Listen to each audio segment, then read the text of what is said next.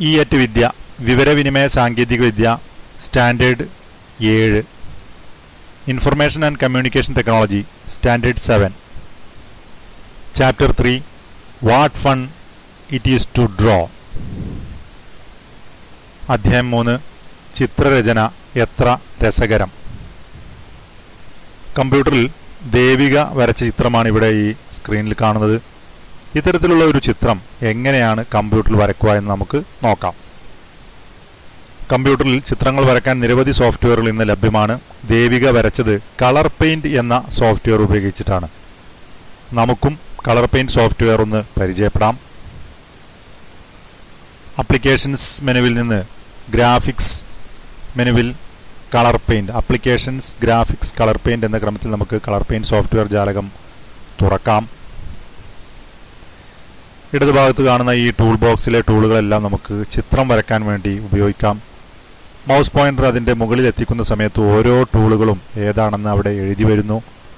നോക്കൂ pen tool line tool eraser tool rectangle tool ellipse tool തുടങ്ങി വിവിധ ടൂളുകൾ ഇവിടെ ഇടതുഭാഗത്തുണ്ട്. നമുക്ക് വേണ്ട ചിത്രങ്ങൾ വരയ്ക്കാനുള്ള ക്യാൻവാസാണിത് നമുക്കാവശ്യമായ നിറങ്ങൾ ഇവിടെ താഴെ നിന്ന് സെലക്ട് ചെയ്യാം. അതുപോലെ ഈ ഭാഗത്ത് നിന്ന് നമുക്ക് ഈ ക്യാൻവാസിന്റെ പശ്ചാത്തലത്തിൽ ഇപ്പോൾ വെള്ള നിറമാണ് അതുപോലെ ഉപരിതല നിറം. പശ്ചാത്തല ഉപരിതല നിറങ്ങൾ നമുക്ക് ഇവിടെ നിന്ന് മാറ്റം വരുത്താൻ പറ്റും. രസകരം ഈ നിറഭേദങ്ങൾ. ഒരേ സമയം രണ്ട് നിറങ്ങൾ വിവിധ ആവശ്യങ്ങൾക്ക് ഉപയോഗിക്കാൻ കളർ പെയിന്റിൽ കഴിയും. ചിത്രം വരക്കുമ്പോൾ മൗസിന്റെ ഇടതു ബട്ടൺ അമർത്തിയാൽ ഉപരിതല നിറവും വലതു ബട്ടൺ അമർത്തിയാൽ പശ്ചാത്തല നിറവും നമുക്ക് ലഭിക്കും. നോക്കൂ. ഈ ഇതൊന്ന് നമുക്ക് നോക്കാം. നിലവിൽ ഇവിടെ ഉപരിതല നിറം കറുപ്പാണ്. അത് ഞാനിവിടെ ഈ ചോപ്പിൽ ക്ലിക്ക് ചെയ്യുന്ന സമയത്ത് ഇടത് ബട്ടൺ ക്ലിക്ക് ചെയ്യുന്ന സമയത്ത് ആ കറുപ്പ് മാറി അവിടെ ചോപ്പായി വന്നിട്ടുണ്ട്. അതുപോലെ അതുപോലെ ഇവിടെ ഈ പശ്ചാത്തല നിറം ഇവിടെ വെള്ളയാണ്. ഇവിടെ ഇടതു ബട്ടൺ ഇതിൽ ഇടതു വലതു ബട്ടൺ അമർത്തുന്ന സമയത്ത് നമുക്ക് പച്ചയും വരുന്നു. അപ്പോൾ ഇടതു ബട്ടൺ ചുവപ്പും ഇവിടെ വലതു ബട്ടൺ ക്ലിക്ക് ചെയ്തുകൊണ്ട് പച്ചയും ഇവിടെ വന്നായിട്ട് കാണാം. അത് നമുക്കിവിടെ രണ്ട് വ്യത്യസ്ത ലെയറുകളിലായിട്ട് തന്നെ കാണാം. ഇനി നമുക്കിവിടെ ഈ എലിപ്സ് ടൂൾ ഉപയോഗിച്ചുകൊണ്ട് ഞാൻ രണ്ട് എലിപ്സുകൾ ഇവിടെ വരയ്ക്കുകയാണ്.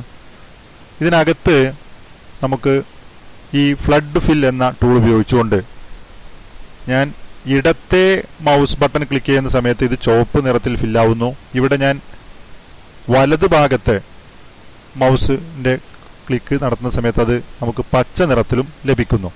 അപ്പോൾ ഇവിടെ നമുക്ക് വരക്കുന്ന സമയത്തും ഇത്തരത്തിൽ മൗസ് ക്ലിക്ക് ചെയ്ത് വരക്കാം. ഉദാഹരണത്തിന് പെൻസിൽ ഉപയോഗിച്ച് ഇടത് ബട്ടൺ ക്ലിക്ക് ചെയ്ത് വരക്കുന്ന സമയത്ത് ഇവിടെ നമുക്ക് ചോപ്പ് വരയും. വലത് ബട്ടൺ ക്ലിക്ക് ചെയ്യുന്ന സമയത്ത് നമുക്കിവിടെ പച്ച വരയുമാണ് ലഭിക്കുക. അപ്പോൾ ഈ ചിത്രം ദേവിക വരച്ച ചിത്രം വരക്കുന്നതിന് വേണ്ടി നമുക്ക് ആദ്യം ഇവിടെ കുന്നും മലകളും വരക്കാം. പ്രവർത്തനം മൂന്ന് രണ്ട് മലകളും കുന്നുകളും. കുന്നുകൾ വരച്ചു ചേർക്കുന്ന പ്രവർത്തനമാണ് ആദ്യം ഇവിടെ ചെയ്യുന്നത്. അതിനുവേണ്ടി നമ്മൾ കർവ് ടൂൾ ഉപയോഗിക്കുകയാണ്. ഇതിനുവേണ്ടി ഇവിടെ നിങ്ങൾക്ക് കാണാം കർവ് എന്ന ടൂൾ സെലക്ട് ചെയ്യുന്നു. കർവ് ടൂൾ സെലക്ട് ചെയ്തതിന് ശേഷം നമ്മളുടെ മനസ്സിൽ ഏകദേശം ഈ ഭാഗത്താണ് രണ്ട് കുന്നുകൾ വരക്കാൻ ഉദ്ദേശിക്കുന്നതെങ്കിൽ നമ്മൾ ഇവിടെ മൗസ് ക്ലിക്ക് ചെയ്യുന്നു.